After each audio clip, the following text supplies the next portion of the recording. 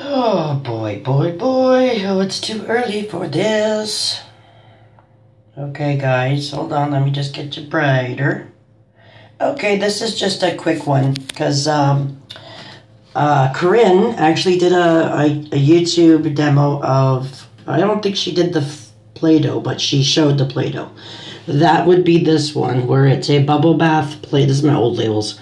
But this is a bubble bath Play Doh that you would hold underwater to make bubbles.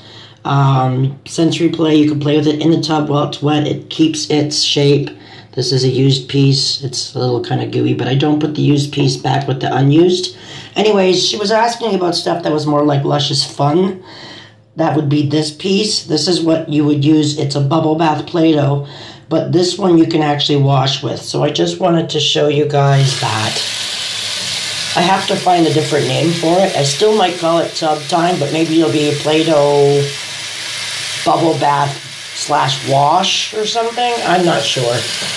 But anyways, same thing. You hold it underwater like this for um, bubbles. The only difference, ouch, that's hot. The only difference about this, okay, this is how I'll show you. You can wash with this one. Let's see if you can get the lather going. It's hard one-handed, but this one is more of the one you get to wash with, okay? So this is that one. There you go. Now you got, you can see the lather. And if I put it here for just one sec. Oops, I splashed it everywhere. This is the one you can wash with. The only difference is this one, um, it doesn't last in the tub for more than one use. So you would use it as a bubble bath and wash with it, but you're not going to really have much of a piece left as you would with the Play-Doh bubble bath. This stuff starts to kind of disintegrate, not badly, but it does start to disintegrate while you're using it because it's more of a soap than a bubble bath, so that's the difference. But you get great bubbles from it, plus you can wash.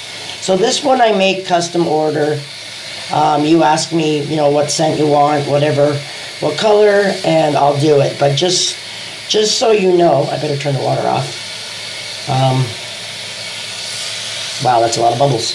I can't get it off my hands. Just so you know, with that one that you wash with, wow, that is a lot of bubbles. That was more than I remember.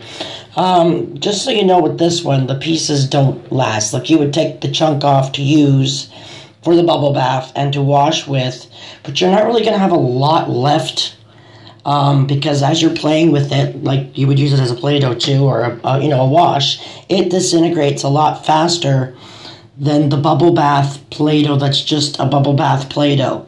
But I wanted to show you something about that too. Like I said, you can use this more than once.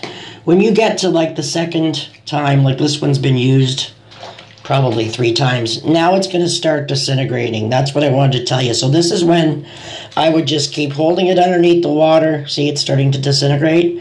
I would just keep holding this little puppy. Let's let some water out.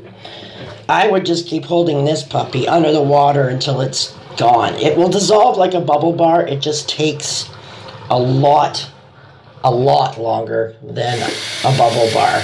So, but it still makes great bubbles. But see what I mean? After you've used it a couple times, wow, was that hot?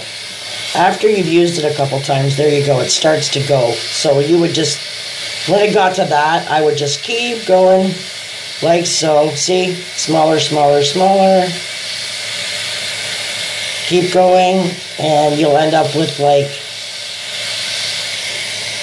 nothing, but you will have an awesome bubble bath. And yes, this one tints. The um, the wash one does not tint because I don't think you guys would appreciate washing yourselves or your kids and turning them blue. Okay, the bubble bath Play-Doh one does tint the water because it's a bubble bath and it's a play with stuff.